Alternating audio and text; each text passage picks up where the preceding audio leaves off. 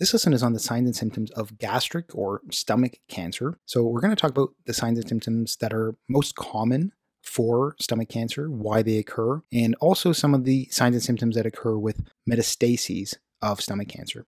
Before we talk about those signs and symptoms, let's talk about what stomach cancer is. So, stomach cancer or gastric cancer is going to be a cancer of the stomach. So, it's going to involve a cancerous mass in the stomach or in the tissues of the stomach. Now, stomach cancer is often going to be a late presenting cancer, meaning that it's only going to present to healthcare providers in a later stage. Oftentimes, in earlier stages of gastric cancer, the signs and symptoms are going to be mild or insignificant. So, that's important when we talk about the signs and symptoms later. There are multiple types of stomach cancer. The most common type is going to be gastric adenocarcinoma, and the other types include gastric lymphoma, gastrointestinal or GI stromal tumor, and gastric carcinoid cancer. There are multiple risk factors for getting gastric cancer. Each risk factor is associated with a particular type of cancer. Now, we won't get into those details here. If you want more information on the specific details of risk factors and the particular types of cancer that they cause, please check out my full in depth overview lesson on gastric cancer. But the risk factors in general for getting gastric cancer include long term consumption of smoked foods, so foods with nitrosamines, having an H. pylori or Helicobacter pylori infection. This is a bacteria that infects the stomach. So, having a chronic infection, especially, is going to increase the risk for having gastric cancer and also increase the risk for other things like gastric ulcers. Tobacco smoking is also another risk factor for stomach cancer, and having chronic gastritis or chronic inflammation of the stomach all increases the risk for gastric cancer. Now, in the next upcoming slides, we're going to talk about some common signs and symptoms of gastric cancer, and especially some particular characteristic special signs and symptoms we see with gastric cancer when it has metastasized. So we'll talk about those later on in this lesson. Now, before we talk about the signs and symptoms, it's important to note that early gastric cancer is going to be often asymptomatic, meaning that there's no symptoms at all. So, again, we mentioned this is a late presenting cancer. Oftentimes, patients may have early stages of gastric cancer and not even know it. But when they do start to have symptoms, these are going to be some of the most common symptoms. So, we're going to start off with gastrointestinal signs and symptoms of gastric cancer. The first is going to be abdominal pain. So, abdominal pain is going to be due to growth of the cancer within the stomach, which presses on surrounding abdominal structures and the stomach itself, causing pain. So, it's going to be due to cancer within the stomach tissue, infiltrating the stomach tissue, and also pressing on surrounding structures in the abdomen.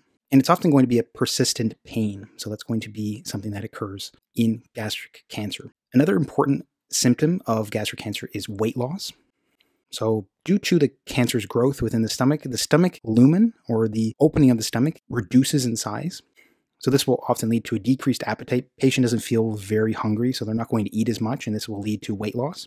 So, it's going to be a non specific weight loss. It's going to be weight loss that the patient wasn't trying to achieve. So, it's often going to be a weight loss over many months. Patient becomes thinner and thinner, and it's going to be again due to the cancer's growth in the stomach, reducing the luminal size of the stomach, so it reduces the appetite of the patient, but also because the cancer is diverting nutrients away from the patient. And this weight loss can become so severe later on in the disease that it can lead to severe fatigue and something we call inanition, which is this severe fatigue, very poor, low energy due to being very thin and malnourished. Another gastrointestinal symptom we can see is early satiety. So this early satiety goes along with the weight loss we just mentioned. So the early satiety is going to lead to a reduced appetite and postprandial fullness. Postprandial fullness simply means that after a patient eats, they become or they feel very full. So they can eat very small amounts of food and be full after eating small amounts. So that's going to be early satiety. They are satiated earlier than appropriate or earlier than expected. Again, this is due to that stomach mass reducing the space within the stomach. You can think of it that way. So if there's a big mass inside the stomach, we cannot put much food in there before we feel very full. So that's also going to be a cause of the weight loss we talked about previously. Another important symptom of gastric cancer is nausea and vomiting. So the cancerous mass in the stomach can press on the stomach and surrounding structures, leading to nausea and, and, vomiting may occur as well. So nausea and sometimes vomiting but especially nausea, that's going to be a common symptom of gastric cancer. We can also see indigestion occurring as well, indigestion or dyspepsia. So, this is a feeling as though food is just sitting in your stomach. Again, that's due to that cancerous mass within the stomach. We can also see issues with dysphagia. Dysphagia is going to be difficulty swallowing. So, in some cases, depending on the location of the cancer in the stomach, can lead to issues with food feeling like it gets stuck in your esophagus. So, it feels like the food gets trapped. And again, that's due to that mass in the stomach. Again, depends on the location in the stomach where, you know, we may feel that the food's not getting past the mass. So again, that depends on where the mass is located in the stomach.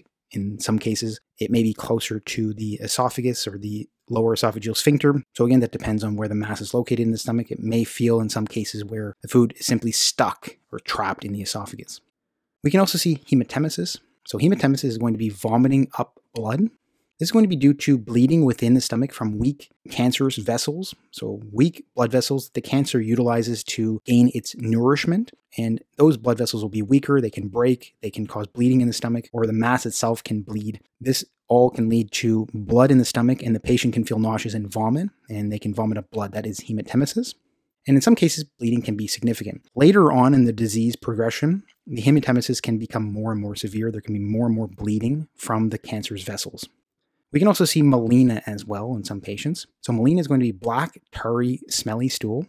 And traditionally, melena is going to be due to an upper gastrointestinal bleed. The stomach is in the upper gastrointestinal tract. So what happens is if the patient doesn't vomit up the blood, they're still having bleeding in the stomach, but instead of vomiting up the blood, they end up digesting the blood. And the digested hemoglobin from the blood turns black, and the stool can become black and tarry and especially very smelly.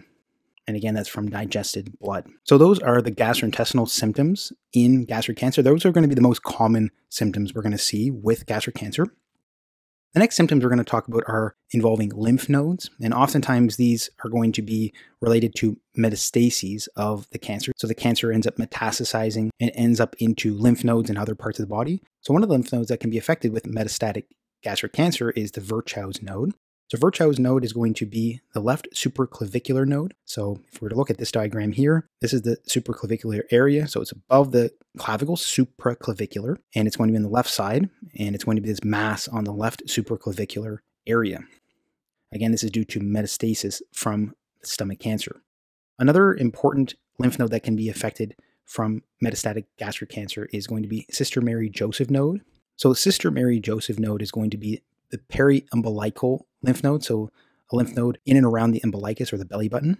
This lymph node generally drains the abdomen and the pelvis, so it's going to end up draining the stomach. So if there's cancer that ends up leaving the stomach and can get into this node and cause the Sister Mary Joseph node, and this can become enlarged and prominent in gastric cancer.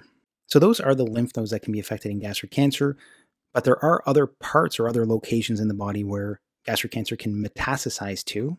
So some of these include the Blum shelf or Bloom shelf.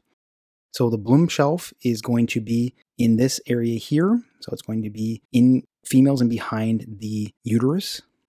So it's gastric cancer metastasis to the rectouterine pouch. This is also known as the pouch of Douglas. So that is one of the locations where gastric cancer can metastasize to. We can also see something called Krukenberg tumor. So Krukenberg tumor is going to be where the gastric cancer metastasizes to the ovaries. So it's going to be where the gastric cancer metastasizes to both ovaries. So it occurs bilaterally. Now, gastric cancer can also metastasize to the liver or surrounding structures of the liver, leading to particular signs and symptoms. These include jaundice. So, jaundice is going to be a yellowing of the skin and eye sclera or the whites of the eyes. If the eye sclera becomes yellowed in coloration, or if there's a jaundice of eye sclera, that is known as scleral icterus. And this jaundice or scleral icterus is due to liver infiltration, so metastasis to the liver, which would be intrahepatic, meaning that it's involving or inside the liver, or it is due to obstruction of the biliary tree, which would be extrahepatic. So either the gastric cancer can metastasize to the liver, leading to jaundice, or it can metastasize in and around the biliary tree, leading to obstruction, and that would be extrahepatic. Either of these would lead to an increased level of bilirubin in the blood. Bilirubin is that yellow pigment that causes the yellowing of the skin and the whites of the eyes. And that would more specifically lead to hyperbilirubinemia, which is high levels of bilirubin in the blood. Another finding we can see with metastasis to the liver is ascites. So ascites is going to look like this. It's going to be a fluid-filled abdomen. So it's going to be your abdomen full of peritoneal fluid. Again, this is due to metastases to the liver, causing liver damage and or failure. And ultimately, this is due to portal hypertension, which is a high pressure within the portal system. This leads to a leaking out of fluid into the abdominal space or into the peritoneal space, leading to a large collection of peritoneal fluid in the abdomen. And this can also be due to reduced albumin as well from the liver damage. Albumin is produced in the liver. If there's a lot of liver tissue that's been damaged, it's not going to be able to produce enough albumin. That can also lead to ascites and peripheral edema as well. We can also see hepatomegaly. So, hepatomegaly is going to be an enlargement of the liver. This is again due to liver infiltration, and this can contribute to the jaundice we talked about before due to obstruction. And we can also see bowel obstruction in general. So, bowel obstruction can occur in gastric cancer either due to obstruction of the gastric outlet, so you essentially block off the gastric outlet so nothing can get through the stomach and past the gastric outlet, or it can involve the small bowel, so somewhere in the small bowel, if there's a large enough mass in the stomach or in the surrounding structures, and it presses on the small bowel, that's going to lead to a small bowel obstruction. So we can see signs and symptoms of bowel obstruction. These include obstipation and constipation. We can see issues with increased nausea and vomiting and reduced bowel sounds. So all of those are signs and symptoms of a bowel obstruction. And because of metastases, we can also see pleural effusion as well. So pleural effusion is going to be fluid in and around the lungs. And this is going to lead to particular signs and symptoms, including dyspnea or shortness of breath, and crackles on auscultation. When a physician or healthcare provider auscultates or uses their stethoscope to listen to your lung sounds, they can hear crackling sounds. So that's going to indicate fluid in the lungs or in the pleural space, and that is going to be some particular findings in metastatic gastric cancer. We can also see paraneoplastic syndromes occurring in gastric cancer, leading to particular skin findings like Leser-Trélat sign and malignant acanthosis nigricans. If you want more information on those paraneoplastic syndromes of gastric cancer, please check out my lesson on that topic. And if you haven't already, please like and subscribe for more lessons like this one. And as always, thanks so much for watching and hope to see you next time.